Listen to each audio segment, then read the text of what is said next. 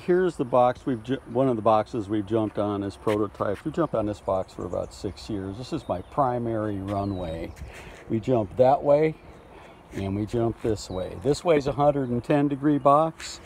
That way is a red box with white inner walls is 105.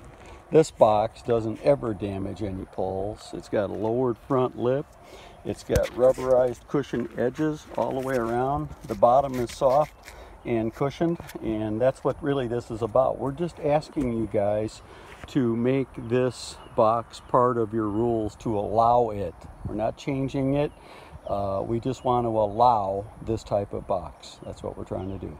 It's got six years of jumping on it. I've had three or four kids land in it. Uh, every every result has been really good.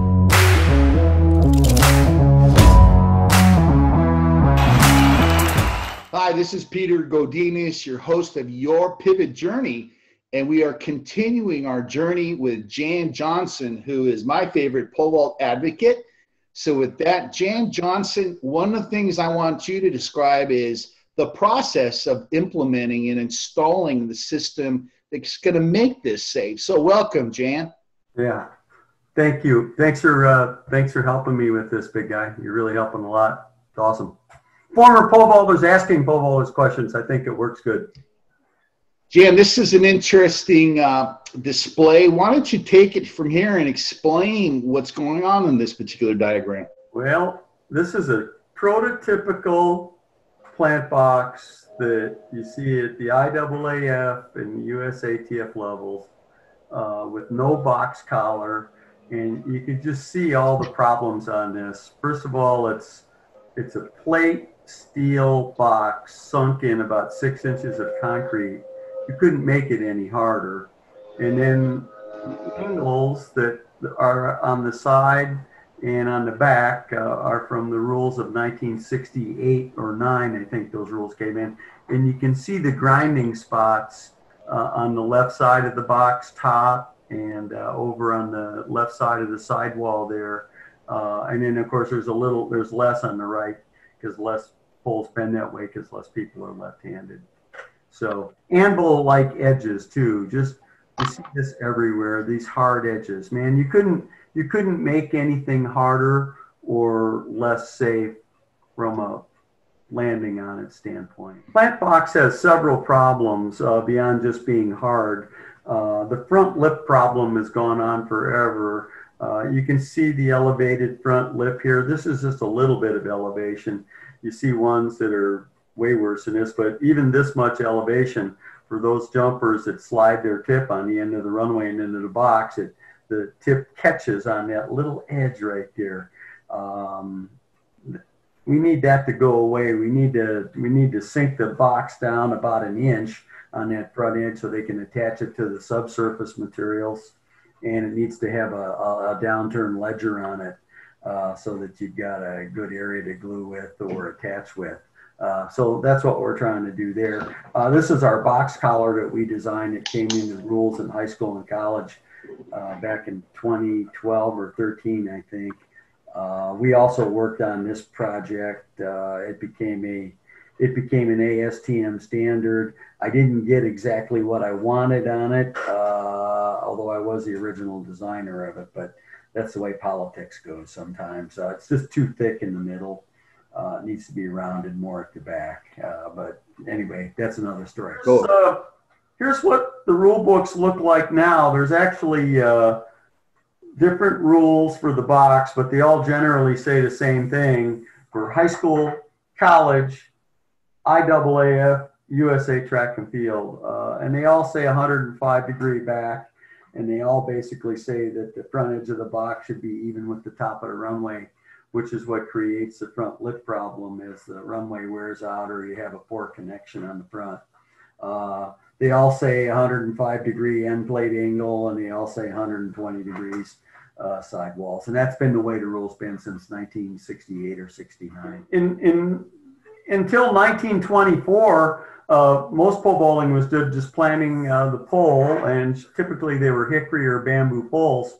Um, into a hole dug in the ground at the end of the runway. And of course, there'd be arguments about how deep the hole should be and all that kind of stuff. So in 1924, uh, um, in the rule books, they came out with this, uh, which was a 90 degree back, uh, the same length, the same width, and the same depth as the box is nowadays.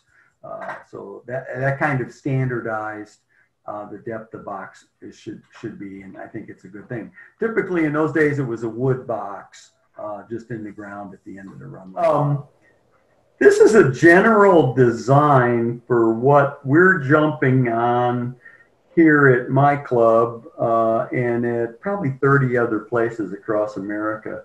Uh, this box has a flexible tray. The tray is the sidewalls, bottom pan, um, and, and front edge with the stabilizer on the front edge integrated or attached to uh, a robust or a thick hard end plate. And what that does is it reduces the amount of uh, hard surfaces that you can land on. This type of box also has a, between an inch and a half and three inches of rubberized track surfacing on the top of the end plate, uh, which removes probably the most dangerous place in all of pole vaulting, that top edge of the box. Um, so um, this system also, you need to have markings around the box, and you'll see that a little bit later.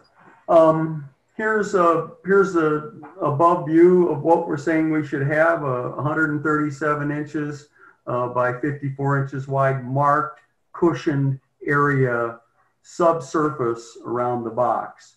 We're also saying that you can round the ends and the corners a little bit of the box. Uh, to make it less likely that the pole is going to rub on it.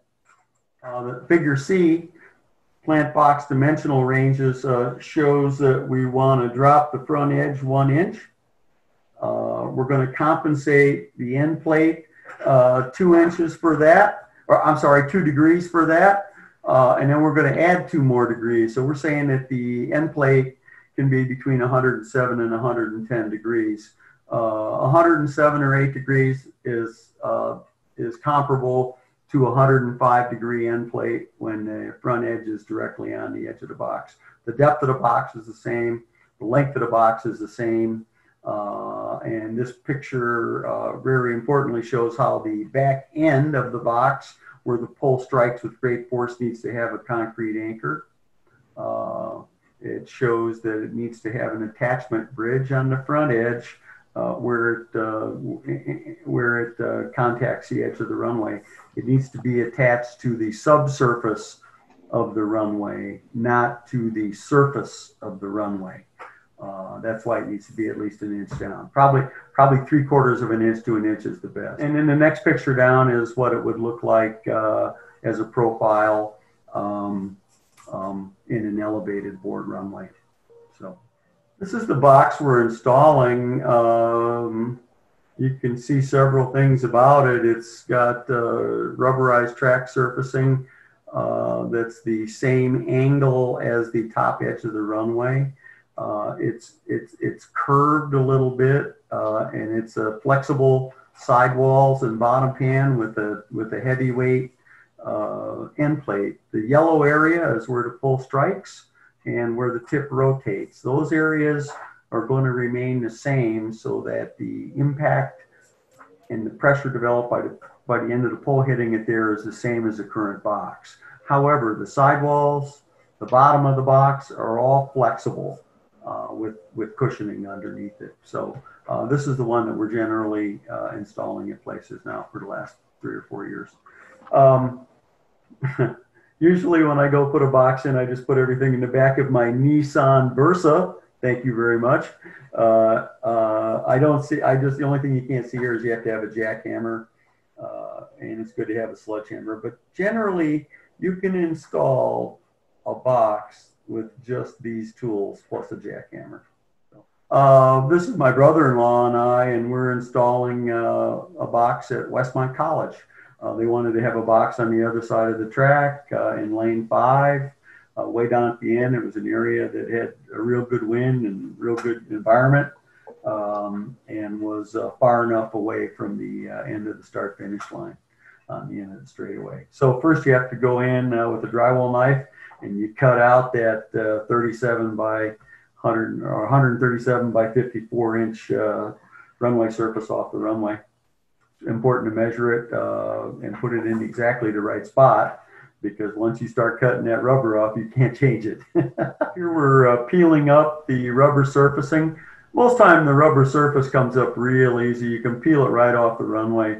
You might need a shovel or something to kind of scooch underneath it a little bit and help cut it, but you can usually, everyone we've ever pulled up, it pulls up in one piece.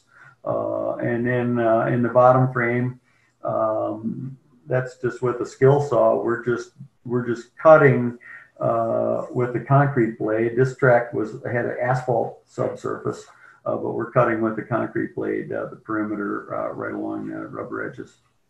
It's important at some locations to have a, a good jackhammer. This is a 90 pound jackhammer, uh, which you can usually rent for 40 or 50 bucks for a day. Uh, you got to have a jackhammer. Uh, like I say, this track uh, was an asphalt track. In the top picture, we started chopping the asphalt out. Um, this is why you score the outside edge uh, with that with that uh, concrete saw, so that so that your sides are nice and straight, as you can see in the bottom picture. And here we're down to sub base on the track now. Most tracks uh, are, are, are three or four inch asphalt sub base uh, or concrete sub base. It's about the same thickness as the sidewalk. So here's, um, we, we, we put four bags, generally it's four bags of shredded rubber mulch you can buy it for $3.50 a bag at any hardware store. Uh, and we pack the bottom of the box with it. We, we cut the box so it's 12 inches deep, or the box hole so it's 12 inches deep, and then we fill it up to grade with the shredded rubber mulch. So uh, here uh, we're, we wet it and we pack it three or four times, just foot packing it with our feet too, just to give it a squishy, yet packed, stable sub base. Works really good. Really simple to do too. Um, once we have established the grade, then we put the box in and we start playing around with the top of the mulch uh, so that it's uh, level on that on that level on that four foot level that you see on the bottom on the bottom frame. Um, it's important to step on the box like the guy in the top is showing uh, and make it where it doesn't rock back and forth.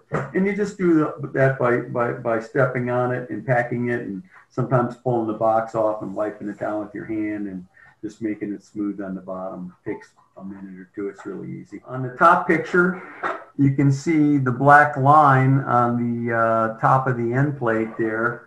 Uh, that's where the shredded mulch goes to and, and, and, and so when you're packing it down, you're packing it to that line. And then, um, and then you're going to put uh, an additional uh, closed cell cushion on top of that. It just tells you the, where you need to be uh, from a height standpoint. Uh, when you get all that figured out, uh, now we're concreting, once we're certain that the depth of our box is the right depth, then we uh, usually we mix up uh, one bag, one 90 pound bag of Quikrete uh, right in behind the box. It's important that it buttresses it. It's also important that it goes underneath the um, pole rotational area uh, two or three inches also. It just gives it that same firm feeling that pole vaulters are used to.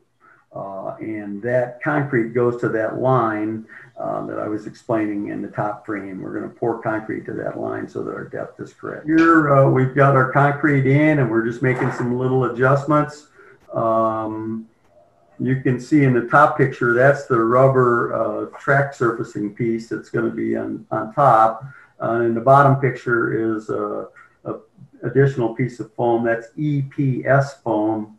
Um, it's made for outdoor use. It's it's a closed cell, so it doesn't absorb water. Uh, and in this particular install, we put EPS foam uh, on the back on top of the concrete anchor. Uh, that was then glued onto the anchor, and then the uh, top piece is glued directly onto the EPS foam. Here's a couple. Here's a couple other views of the same thing. You can see the EPS foam on top of the concrete and how it's all buttressed in with our box. You can also see how in that top picture how Uh, the front edge is uh, between three quarters and one inch below the surface of the runway. Um, the bottom picture shows now that we have uh, put the um, rubberized end surfacing piece on top of the box and just lining things up. Bobby's now also uh, watering the uh, sidewalls one last time and packing the rubber mulch down in there so we can we can put the um, we can put that those pieces on at the correct depth also. I think this picture is cool too because it shows we put a target on the bottom of the box and uh, we have uh, EPS foam also uh, glued to the sidewalls in the bottom pan. So there's several layers of, uh, of, of, protection here. Here we're uh, installing the last of the uh, rubberized pieces.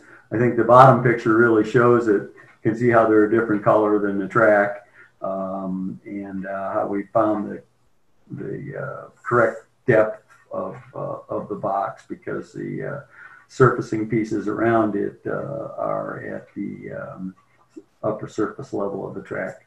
Looks good. Two more good pieces. Uh, when we get all the when we get all the uh, rubberized top pieces in, we just glue them in with uh, rubberized contractor cement. You can buy that at any hardware store too. Uh, there are several types of really good flexible rubberized uh, construction materials. Uh, they all come in tubes like we show in the top picture there.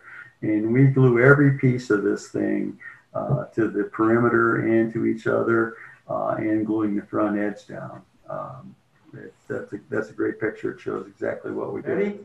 Uh, yeah. Here, um, the glue is all dried and with my with my uh, planer, I have um, curved the top of the rubberized pieces a bit into the corners.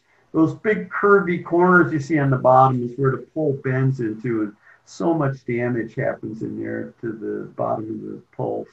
So uh, that's what that piece is all about. Here we're putting one final glue coat on it, uh, just assuring that it's in place. Here is the finished box. Um, they wanted it to be a different color, and I'm strongly suggesting that the plant, the cushioned plant box use area, which is all the yellow parts in these pictures, um, surround the box and be a minimum of this size that we show, which is 137 by 54 inches. A minimum of 12 inches of cushioned area from the top of the end plate to uh, to the runway surface behind. You want 12 inches behind and three inches uh, beyond the front edge on on every front on on on the box. Uh, so that that's the minimum size I would recommend. That's the size we're using here, uh, and we're suggesting that when the pole vault is being done, that that is all the surface area of the box that you should see, and that the pole vault pit should cover all the additional areas. Here's uh, here's the same box at Westmont. Um, what it looks like installed.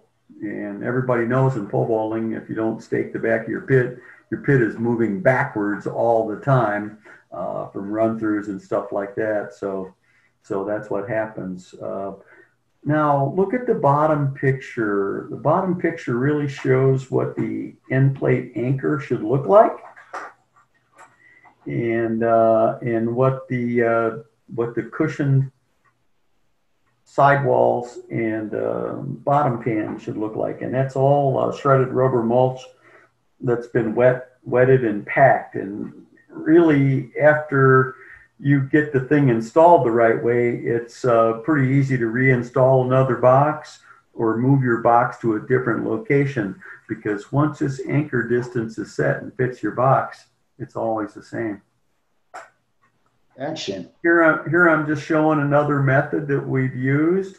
Uh, this is shredded rubber mulch um, with uh, with crack sealer, with outdoor crack sealer uh, holding it together uh, with cushioning on the edges of the box and and uh, using crack sealer, uh, which is very very sticky by the way, aerosol crack sealer to to glue the front ledger into the edge of the runway. Here's the same box again. You can see the outward curves uh, at the top of the sidewalls here near the end plate. Um, and you can see that we sanded down all the crack sealer and we sealed it. And believe and believe it or not we sealed it with rubberized roofing cement. Uh, and it's still going strong out in this backyard. It's at least 10 years old this is one of the first ones we put in. And here's the same box again with just a piece of uh, rollout runway cut to the shape of the uh, box. Yeah we jump on this this couple of this setup here all the time. Oh here's a couple more pictures uh, when you're when you're setting a box in the ground with wet concrete and everything, it's important to uh, have a counterweight, have a weight in the bottom of the box so that it doesn't uh, float up, which is very easy to happen, especially if you're concreting underneath the entire box, which obviously we're not suggesting, but that's why a lot of boxes are high because they put the box in and it's wet concrete and it floats up a little bit. So not, not a good situation. Um, anyway, these are just two steps on our process here. Uh, here we've taken an old, this is the old, old style box collar that I first designed uh, for Gill Sports uh, back in 97 or 98 maybe. Uh, and I've just uh, altered the back of it a little bit with some vinyl uh, and some tape and some, and some sticky glue so that it fits a curved end plate and sidewall uh, designed for less interruption with the vaulting pole. You know, in pole vaulting, there's uh, several different installs too. There's boxes at the end of the runway in the dirt, and there's boxes at the end of the runway in asphalt, and there's boxes uh, in an elevated runway. Uh, our system that I'm suggesting fits into all of those, uh, all of those areas. Really important. Uh, so anyway, I'm just showing here the stuff we use to coat and seal this box and still make it flexible. So. So Jan, that was a really good explanation. It was a lot of detail, but very necessary uh, for anybody who's really serious about putting a strong foundation of a setup for a vault. I really like the way that you actually shared some of the costs because the cost is actually pretty minimal maybe the labor, maybe the expertise is going to cost extra, but it's very, it's very reasonable in cost. I really wanted it to be, uh, to, to, I want to make it where a coach or a couple of kids and their dad uh, or school maintenance can put it in. That saves a lot of money when you don't have to go hire a contractor to put it in. So we've shot videos of our installs. Uh, we've shot pictorials like you just looked at of our installs. It, it, you know, it needs to not cost too much. It also needs to last a long time. Uh, the last a long time thing is why I've taken my time on it and have watched this progress for eight or 10 years now. Uh, I want the boxes to last. I don't want them to get cupped out on the bottom. I don't want to have front lip problems all that needs to go away. We need to be able to plug it up uh, in an efficient way uh, when pole vaulting is not being done, especially when you're along the sideline of a, of a football or a soccer field or something like that. So uh, that, that's really what I've tried to do and, and make it where it works for people. Uh, the problem is, is that the box that I'm showing you, because of the angles involved, doesn't exactly meet the high school or college or IAAF rules. We're asking that they allow this type of box with these angles and these curves. Uh, I think it's the next step forward in pole vault safety and the progression of pole vault safety. We haven't we haven't changed the rule for the box since 1969. That's a long time people bend the pole a lot more. There's been a lot of injuries uh, landing in the box. Maybe you and I should do a talk about all our uh, all, all, the work we've done on investigating injuries between Peter McGinnis, Barry Boden, and I, and a couple others uh, to show the need that way also. So it's been a long term. It's been a long time project. Uh, I would not think of having vault here at my facility where I pay the rent and I pay the insurance and all those things and not have a cushion box. You know, Jan, I uh, just build on what you're saying. I think economics plays a big part of it, but safety, saving lives, is even more important than the money. And you know, to your point, 17 feet is about when people are hitting a critical zone. Well, I got to acknowledge the world record now, which uh, you so much share with me, is what 20 feet two inches by, you know, a son of one of your uh, trainees, uh, uh, Mondo Duplantis, and I guess his dad was Greg Duplantis, and you had trained him. So, Jan, the the heights are getting up there. So, um, I'm really glad for you. Is keep it safe. Let's save lives. Let's make that pivot from from being a dangerous sport to a very safe sport. I appreciate that. Thanks a lot, big guy. Well, Thank we you. hope you enjoyed Jan Johnson's demonstration on how to implement and install a safe and a long-lasting pole vaulting box. If you'd like a digital version of the guide that Jan walked through, please click on the link below and we will gladly send that to you. So as a bonus good, I'm going to show you some of the effects of the abrasion that takes place on a pole when vaulting on a pit that doesn't have the insulation that Jan talks about. So enjoy the footage as I did as a former pole vaulter myself.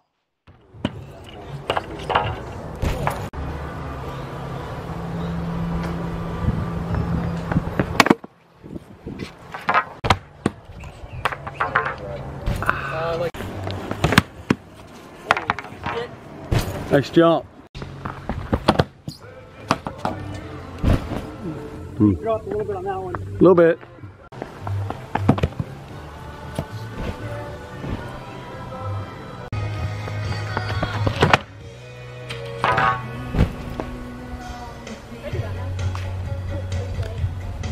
Now let me see the bottom of that pole. There it is. Yeah. So it is touching a little bit.